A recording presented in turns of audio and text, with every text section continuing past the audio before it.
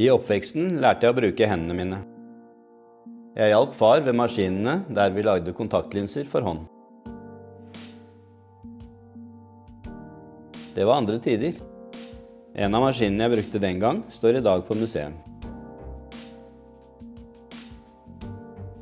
Jeg var glad i håndverket og teknologien, og vi bestemte oss for å starte en optikervirksomhet sammen. Her henger optikerdiplomene hans og min farfars. Det siste her er mitt.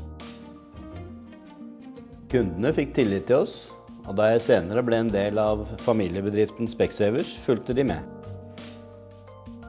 Selv om noen ting har endret seg, er det viktigste allikevel hver dag å hjelpe kundene mine på best mulig måte.